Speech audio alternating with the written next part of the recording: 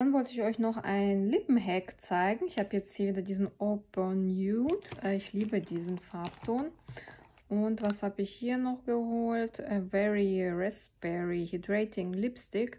Ich sag mal, äh, wenn man den intensiv aufträgt, jetzt sieht die Farbe auch eher pink aus, aber das geht mehr eigentlich ins Beerige äh, wenn man den Farbton wirklich nur so leicht äh, auftragen möchte, also nicht intensiv, damit das einen, einen natürlichen Look hat, mache ich das immer so. Aha, nur so ein paar tupfende Bewegungen.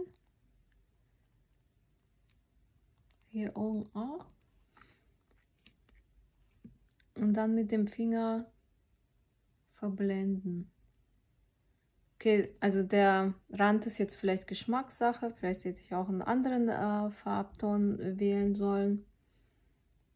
Aber so sieht das auf jeden Fall leichter, dezenter aus. Jetzt mal im Vergleich. Jetzt trage ich ganz normal so auf.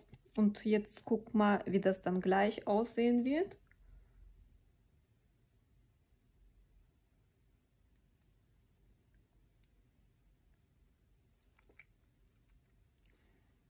Seht ihr den Unterschied? Ich wollte noch was anderes ausprobieren. Mm, und zwar einmal hier den Beige Nude Lip Liner. Jetzt habe ich den Lip Liner aufgetragen und trage noch den Hydrating Lipstick in dem Farbton Poetic Pink. Also das ist ein, äh, ein Pink, aber nicht so ein kräftiges Pink, sondern ein poetisches Pink. genau, jetzt mache ich das mal erstmal ganz sanft. Und dann mit dem Finger wieder verblenden.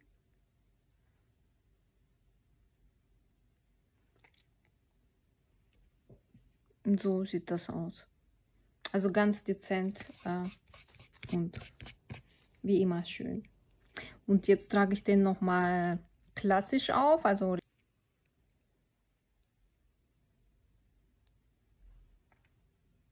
schon kräftiger.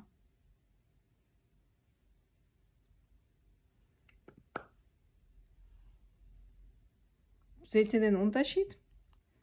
Also diese Hydrating Lipsticks, die sind wirklich so feuchtigkeitsspendend und dann den anstatt äh, eines Lippenpflegestifts zum Beispiel verwenden. Ich habe zum Beispiel für unterwegs eher immer ähm, Nude-Töne oder solche Farbtöne, also so, ich sag mal Pastelltöne. Die finde ich sehr schön, weil irgendwie ist das bei mir so, ich habe Lust auf so einen richtig kräftigen äh, Farbton und dann nach so ein paar Stunden ähm, wandelt sich das auf einmal, dann habe ich wieder Lust auf eher etwas Sanfteres.